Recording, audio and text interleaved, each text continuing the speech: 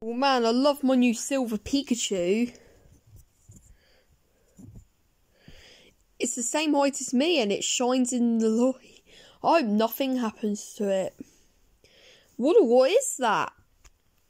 What a, what is that? It's my shiny Pikachu. They're really rare. And it costs a lot of money for it. Wow, that's so cool, Waddle.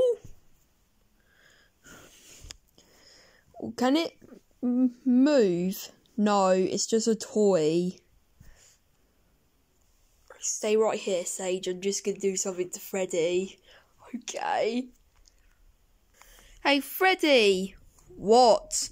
You're looking a little green today. Enough! Can you stop saying I'm looking green today? This joke is getting old. Okay, booger. No! Kermit! No! You know, I am going to. I know I've done loads of stuff to you in Sage, but this one will definitely work. I think I should run and warn Sage. Sage, Sage, Sage. What is it, Waddle? Freddy is gonna do something to us soon. We better watch out. And no matter what, defend the shiny Pikachu. Okay, I'll defend it with my life. Right, we're gonna hide.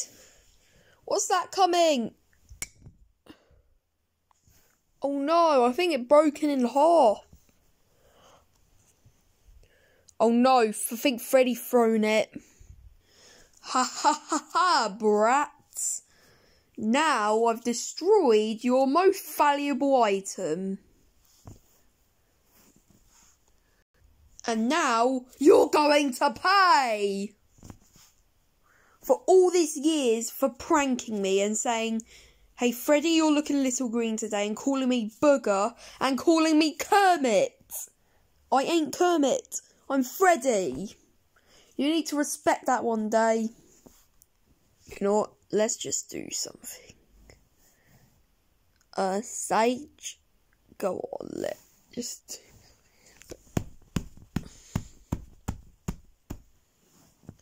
Guess what? We're gonna hit you with your. Oh, my onions!